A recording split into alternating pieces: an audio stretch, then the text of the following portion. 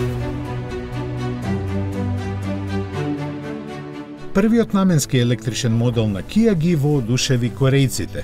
За само еден ден откако беше представен привлече 21.000 купувачи. Не е ни чудо бидејќи е побрз од Porsche Taycan и до 100 км на час забрзува за само 3,5 секунди. Ваквите импресивни перформанси тој ги остварува со комбинираните 585 конски сили од двата електромотора кои ги поседува GT верзијата.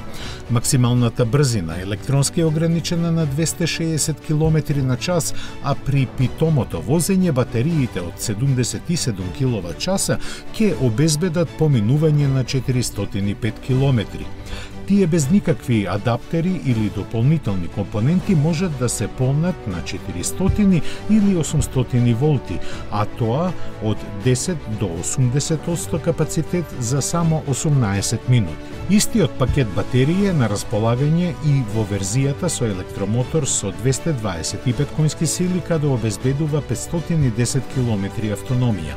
Таа може да се добие и со дополнителен електромотор на предната оска кој додава уште 100 коњи. Основната изведба располага со батерија од 58 кВч и 170, односно 235 конски сили во варијанта со погон на сите тркала. Значајна особина на Kia EV6 е што од своите батерии може да напојува надворешни потрошувачи на струја, но и да полни друго електрично возило.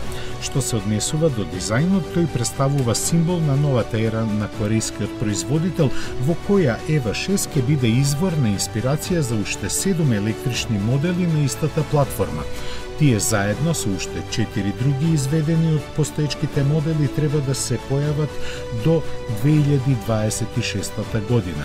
Продажбата на Kia EV6 ќе започне наесен по цени од 45.000 евра во Германија.